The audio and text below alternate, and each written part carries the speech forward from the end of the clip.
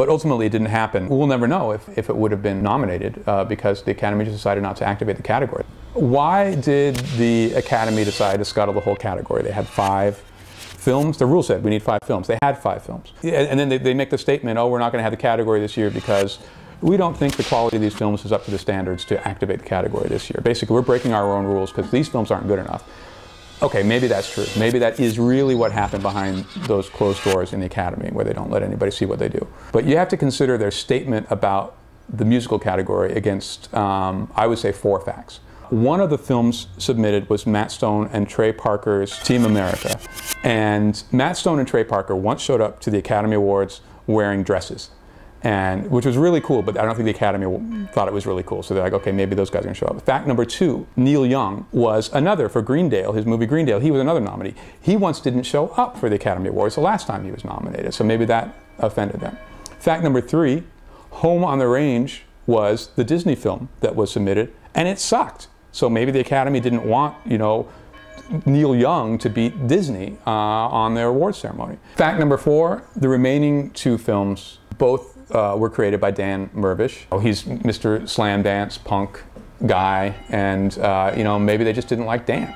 And both of those films, their budgets put together cost less than an Oscar gift bag. So what if one of these films went then then you know the whole world will know you don't have to make films the Hollywood way and then you know life will be over. The, when I heard that the Academy actually rejected the, the whole category, I was really surprised. And they had five films, that's what the rule said.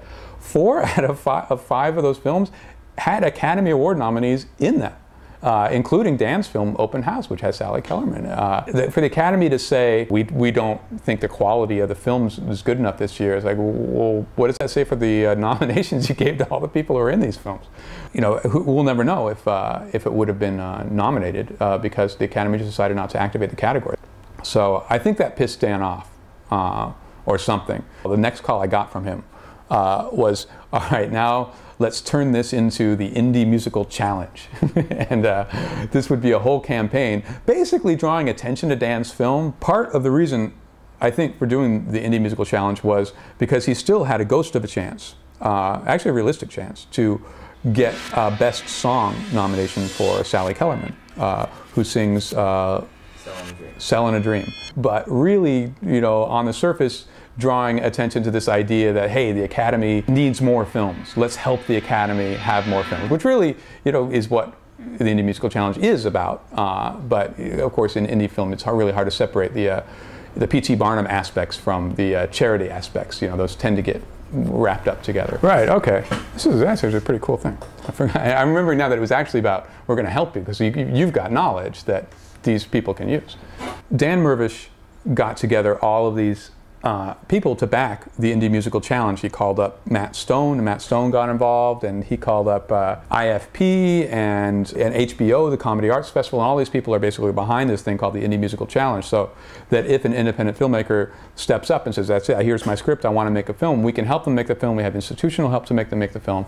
And so if you want to find out more, you can go to uh, indiemusicalchallenge.com.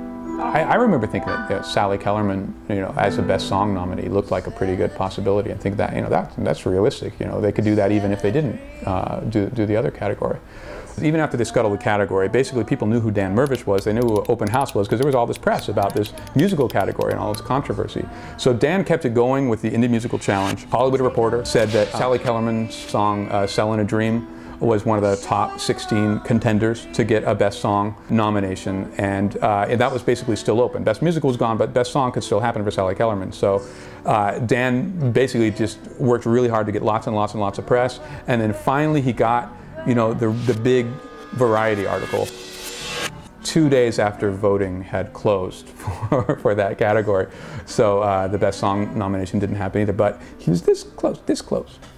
Of course, Dan, lifelong ambition, waiting to be phoned in the morning by his agent to be told he's got an Oscar nomination. Yes, but not having an agent, I have to settle for Gabe. Yes. It's an honor just to get a phone call on Dan, Oscar morning. Yes, the Oscar nomination has been announced. And unfortunately, You didn't mention selling a dream from open house. Yeah, that seems that seems strange. Surely we should. It says right there. Yeah, yeah, yeah. It's an honor just to be eligible. So here I am with two of the stars from uh, Open House. We found out yesterday we didn't get a, an Oscar nomination, and Those bastards! it was a little rough. I thought we were an outside contender uh, for a Best Song nomination. I, I liked the song so much, I wanted to think that we were. So, um, so what are we gonna do about it? Uh, sled? I can't say that I was crushed when we did not get nominated.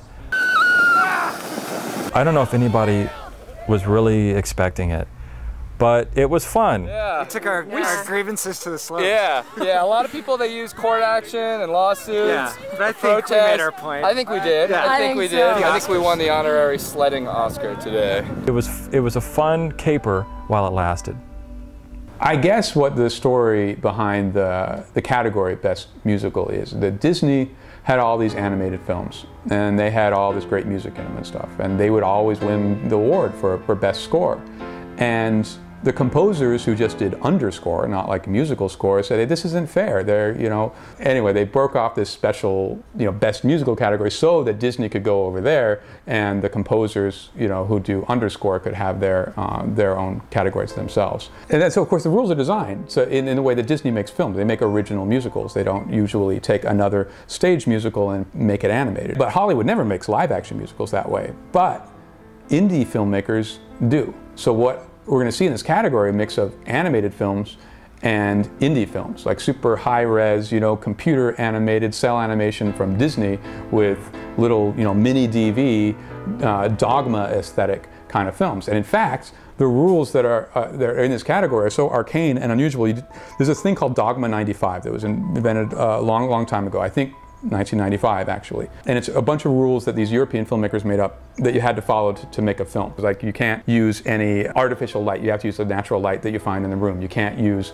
uh, music from outside, you have to make your music in front of the camera. And you have to sacrifice a virgin on the fourth day or something. Anyway, the, the Academy rules are oddly just like dogma. It's like, okay, it, it gives you a stricture uh, under which now you have to be creative within these boundaries. And of course, you know, as it always is, it makes you more creative if you have those kind of kind of boundaries. So there could be some really, really interesting films made under the rules of the Academy. So I'm hopeful that what we'll see is a sort of weird, it's basically turned into a dogma category. There, there is, I think, a chance for one year, whatever year it is, for a whole bunch of people to get together and say, we're all going to make musicals and one of us is going to win an Oscar. And that'll probably end up being a self-fulfilling prophecy. So it would be very fun to just go for total quantity. How many musicals can we possibly make in a year?